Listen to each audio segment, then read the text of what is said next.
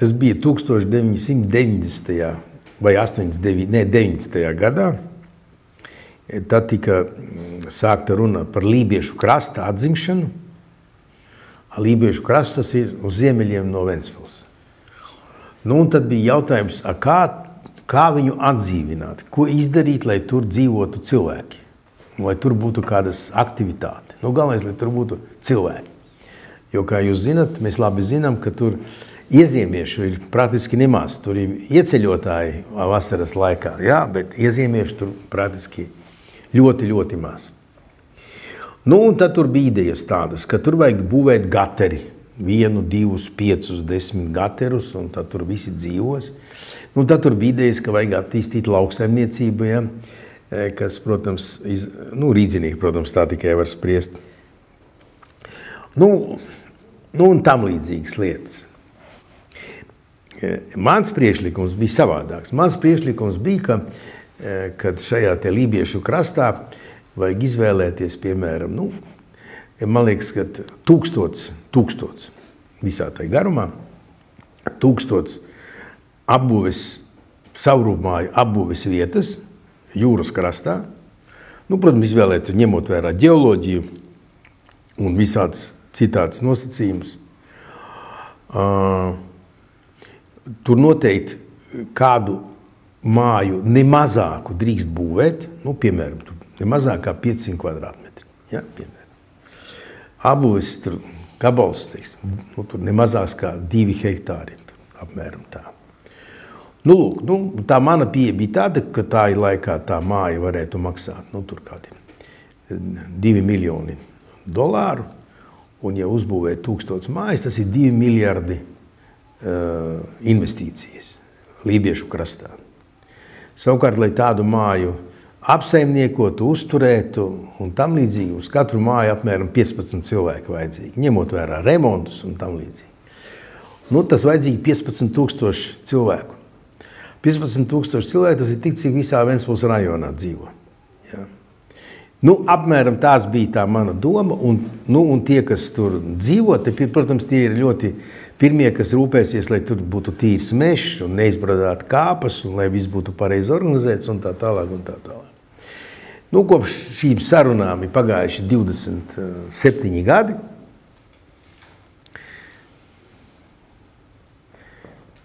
Varat pabraukt un pastīties, kā ir šai, pa šiem 27 gadiem lībiešu krasts attīstījies un, un kas nu tur ir mainījies un uz kuru pusi. Kas attiecas uz to um, māja kuģis. Nu, ir jau Latvijā normatīvie akti, kas regulē, eh, kas ir pastāvīga būve, ar, tas nozīmē ar pamatiem, un kas ir pagaidu būve, tas nozīmē bez pamatiem. Nu, piemēram, jūs braucat atpūsties ar telti. Telts, protams, nav kuģis, bet jūs varat uztaisīt arī eh, telti, kura ir kā piepūšams kuģis, pareizi? Un jūras krastā nolikt, pareizi? Un tur dzīvot. Cik ilgi jūs tur drīkstat dzīvot? Neviens to nereklamē. Jūs varat dzīvot visu atlikušo mūžu. Atkarīgs no nu, kā, kā jūs tur jūtaties. Ja? Nu tā. Jūs varat atvilkt traileri kādu. Ja? Nu, piemēram, ir tādi traileri, dzīvojamie traileri, ko mašīnai piekabina aizmugurē, ir mazāki. Tādi, ir tādi, kas ir nu, ne tik lieli kā šī te telpa, bet nu, garuma ziņā tik lieli ir. Ir tādi autobusi tur uz sešā, četrām asīm, Amerikā populāri, ja, kur uz sāniem izbīdās un faktiski vesela māja. Nu, tā nav māja kuģis, bet tā ir māja auto. Nu, tā. Nu, tā. tā kā, nu, tas ir normatīv, normatīvais regulējums ir tāds. Protams, jautājums ir, pat cik ir katra zemē ir īpašnieks. Nu, valstī ir, ir tādas zemes, kas piekrīt piekrīt valsts vai piekrīt pašvaldībai, bet nav noformēti īpašuma dokumenti. Nu, viss ir atkarīgs no tā īpašnieka, vai viņš tur piekrīt vai nepiekrīt. Ja? Tā kā, nu, tas ir, tas ir bez, bez īpašnieka ziņas, tur tā kā nevarētu tas notikt. Ja? Uh, nu, es aicināju, es esmu tā skaitā arī Kučinska valdību un arī, arī veikt valsts zemju invertizāciju un vispār valsts īpašumu invertizāciju. Un no tā, tā valsts, valstī īpašumā vai zeme vai tā, kas piekrīt valstī un tai nav vajadzīga funkcija veikšanai, to vienkārši pārdot. Ja? Šobrīd pat valsts īsti nezina, vai tā ir viņu zeme vai ne viņu zeme, uz kur atrodas tā, tā, tā, tā māja kuģis. Tur, cik es dzirdēju no Gerharda kunga, tur ir bijusi tiesvedība, un es sapratu, ka tas īpašnieks ir vinnējis to tiesu. Un savādāk būt nevarēja, tāpēc, ka uh, viņš jau ir izdarījis visu atbilstoši normatīvu aktu prasībām. Ja. ja kādam nepatīk, tad jāmaina normatīvie akti, bet nevajag uzbrukt tam cilvēkam. Ja. Nu tā, jo, cik es saprotu, tad nevienam viņš tur īsti netraucē. Nu, protams, jautājums ir, pa kādu ceļu brauc? Ja? Nu, ceļam jābūt oficiālam. Ja. ja tur nav ceļš, nu, tad jautājums, kam tā zeme? Ja tur ir servitūts uz ceļa, tas ir viens stāsts. Ja tur nav servitūts, nu, tad, sorry, tad ar zemes īpašnieku jums ir jāvienojas. Ceļš jau nav teikts, ka jābūt iesegumā. Nu, viņš varbūt vienkārši iebraukts. Nu, protams, nu, tā ir elektrības jautājums. Ja? Kāds jau to elektrību pievilka? Droši vien, ka tas eh, tur var būt privāta līnija, bet eh, tā ir jābūvē. Tur vajadzīga atļauja. Nu, tas nozīmē, ka tā atļauja ir saņemta.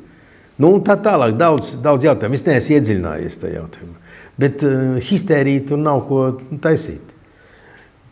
Atcerieties vienmēr, vai, vai tas nesitīs pa jums, ka jūs mēģināsiet palikt vienu nakti teltī jūras krastā. Tā skaitā teltī kuģī, ja piepūšamā balonā. Nu tā.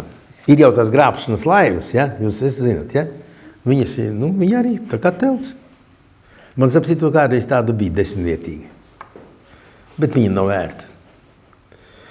Vai jūs nebūtu gatavs tagad pēc 27 gadiem atkal valdībā mazliet pakustināt šo jautājumu, vai taču mēs paši savā zemē? Nē, tur bezjēdzīgi par to runāt. Tas ir bezjēdzīgi. Pieeja būs vienkārša. La, lai tur neviena nav un tā. Nu, mana personīgā viedokļa. Labi, ka tur neviena nav. To es varu pateikt. Man personīgi. Nu, forši brauc, un tur neviens nemaisās pa kājām. Tur Vasarā kāds parādās, pēc tam neviens neparādās. Nu, ir paldies Dievam. Ja, tā. Pat, eh, pat tā, ka bija aizliegtā zona, bija vēl labāk. Redzējā atļauja, lai tur iebraukt. Nu, toties upīties bija vairāk lašu, eh, taimiņu, foreļu. Tagad ar elektrību izcit visu. Nu, tā. Nu, jā, jā, jā. Bet nē, nu, labāk, ka nav tās aizliegtā zona. Tomēr tas ir tāds dabas, dabas tāds. Es domāju, ka daudzi nemaz nezin, kas ir uh, vīgas un kangari. Ko? Zini, kas ir? Nevat redz, Ventspilniec. Nē, nu jā.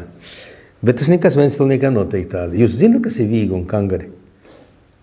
Nu, tā ir daba. Tepat mums pie, pie deguna. Unikāli dabas veidojumi. Nu, tā atrodiet. Jā, tur sēnes daudz barvīgs savu. Jā, jā, nopietni. Mm. Un, eh, un var lasīt eh, ļoti veiksmīgi ne tikai baravīkas, bet arī dzērvenis rudenī. Bet uz vīgām vai kangariem? Labi, mājas darbs.